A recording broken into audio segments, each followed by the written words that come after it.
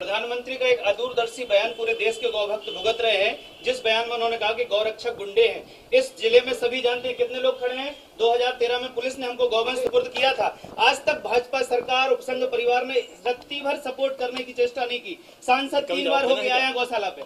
क्यों नहीं सुनोगे? नहीं मैं आपका सवाल सुनूँगा। मैं पूछ रहा हूँ आपका जवाब देना पत्रकारों के नाते नहीं जाए आपका जवाब मैं आप कार्यकर्ता के नाते या जनता के नाते दे दूँगा। तो सुन लीजिए। मैं ये प्रधानमंत्री का एक बयान पूरे देश में सच्चे गौभक्त भुगत रहे हैं। यहाँ का डीएम कह रहा है की तुमने गाय छुड़ाई तुम जानो। इसमें न योगी जी कुछ करेंगे न मोदी जी करेंगे। ये पूरी फ़ाइल है। हम कह रहे हैं गौवंश पुलिस ने हमें सुपुर्द किया। हम एक अकिंचन साधु है दूसरा चार एकड़ के लघु सीमांत किसान हैं। 2013 से 250 गवर्नेंस में मेरे खेत पे एक जिम्मेदार हूँ, क्योंकि मैंने संगठन में आरएसएस में आईटीसी ओटीसी करके संकल्प लिया था कि परम वैभव नेतु मेहता स्वराष्ट्रम गाय हमारे राष्ट्र की अर्थशास्त्र की दूरी है। और मैं 2014 के इलेक्शन में अर्थशास्त्र पढ़ रहा था गाय के नाम पर। और उस गाय को लेकर के जो प्रधानमंत्री का प्रतिकूल बयान हुआ है, उससे पूरे देश के आहत है गौभक्त। इस पर आपका क्या कथन है? बात हो गई पूरी अभी तो और भी है। आप नहीं एक बार में कह लीजिए हाँ, पूरा तो हो। मैं बात पूरी हाँ, कर लेता हूँ। आप पर गाय का आपने गाय को लेकर के जितनी बातें कही हम हर बात से सहमत ठीक है। गाय अर्थशास्त्र की धुरी है उसको कभी हमने इनकार नहीं किया है। है। गाय नहीं कटनी चाहिए हमने इस बात को लेकर के बहुत कठोरता से जितने अवैध कत्ल खाने चल रहे थे उनको बंद करने तो का वैध। कतल खाने न्याय है मैं मैं देखिए एक बात समझ लीजिए एक बात समझ लीजिए। कोई भी व्यवस्था व्यवस्था के रूप में ही चलेगी। हम्म। अगर कोई अवैधानिक गतिविधि है क्योंकि हम हम क्योंकि हम अंग्रेज़ों के बनाए हुए स्ट्रक्चर को गुलामी की मानसिकता से ढो रहे हैं। हमें आपसे यही उम्मीद थी कि आप राष्ट्र के सच्चे लोग हैं। बीच में कोई नहीं बोलेगा। आपसे बात होगी। आप भारत के संविधान भारत के संविधान के अनुरूप चलेगा और भारत का संविधान जिन बातों की अनुमति करता है उन बातों की अनुमति संविधान तो अंग्रेज़ों का बनाया हुआ है ना?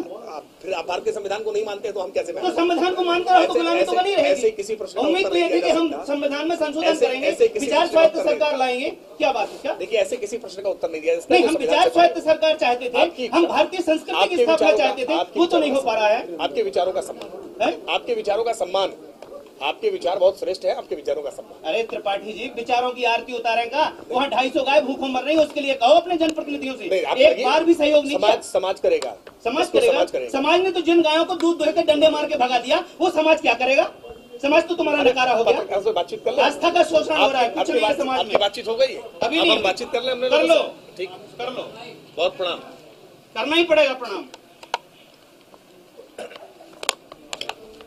चाय आ रही है क्या?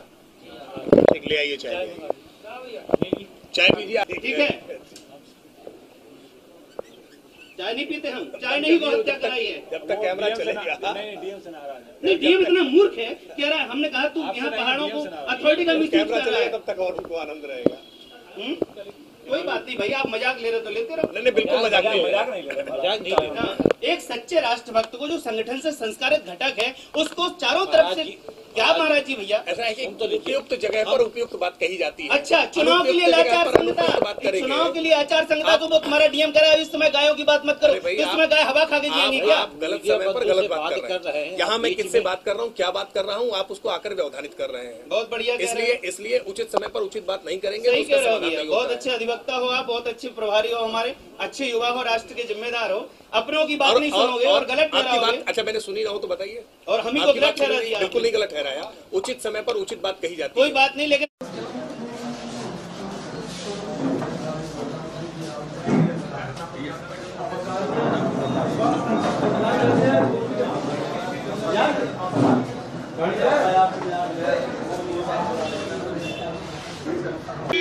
रख लीजिए रख लीजिए।